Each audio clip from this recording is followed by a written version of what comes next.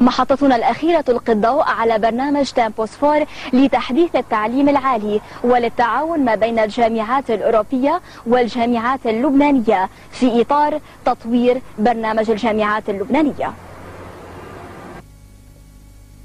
تامبوسفور برنامج تعليمي ممول من الاتحاد الأوروبي.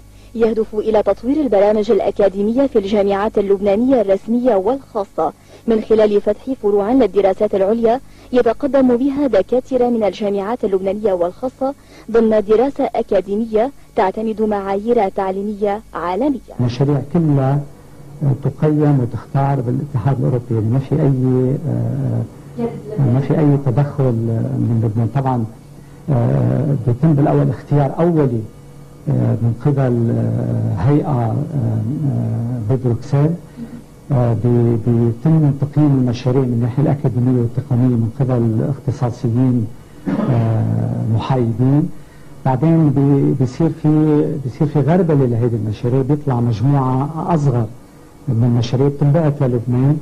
هذه المشاريع بيعطي بتعطي رايها فيها وزارة التربية والتعليم العالي. وطبعا مكتب تنفس الوطني ومفوضيه الاتحاد الأوروبي ببيروت وعلى أساسهم بيتم بعدين اختيار المشاريع.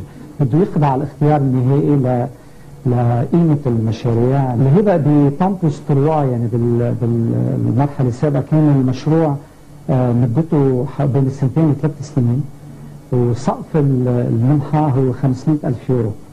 هلا ب Tempus الرابع يلي بده يمتد لل 2013 صارت ال minimum 500 ألف يورو ممكن توصل موازنة المشروع للمليون ونص يورو. الكليات التابعة للجامعة اللبنانية هي أكثر من استفاد من تامبوس فور. فاستحدث فيها فرع للدراسات العليا في كلية السياحة والسفر والفنادق مدرسة للدكتوراه في كلية الحقوق استحداث فرعا في كلية الزراعة في كيفية حماية الغابات هيكلية في كيفية الإدارة في اعتماد أنظمة وبرامج هندسية وكل ذلك بالتعاون مع جامعات لبنانية خاصة وجامعات أوروبية. Tempus four استكمال لبرنامجي Tempus 2 و 3 فتح مجال التعاون مع الجامعات الأوروبية كافة بعدما كان التعليم العالي في لبنان محصورا ببعض الجامعات الأوروبية والعربية.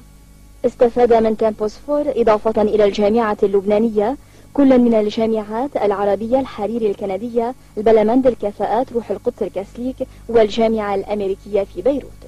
جهزنا مختبراتنا وصاروا حاليا مختبراتنا. هلا بتشوفون جاهزين إنه نحن نقدر نستقبل الطلاب يعملوا مختبر تطبيقات داخل المختبرات هذه وهيدا ما ما قدر صار إلا بالتعاون اللي صار بيننا وبين الاوروبي. القيمة الإجمالية للهبه كانت حوالي نص مليون يورو. كانت حصه الجامعة الأمريكية بحدود ال 400 ألف يورو.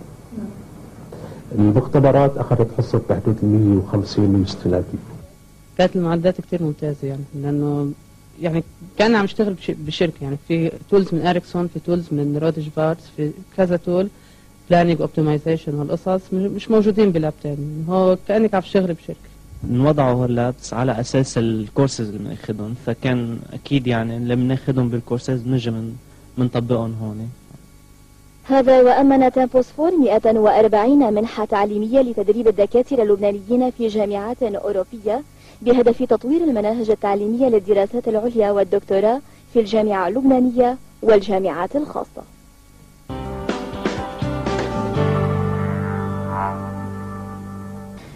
في ختام هذه الجولة نشكر لكم المتابعة على أمل اللقاء في العدد المقبل من مجلة حوار وجوار. ولمزيد من التفاصيل زوروا موقع www.euromed-news.org إلى اللقاء.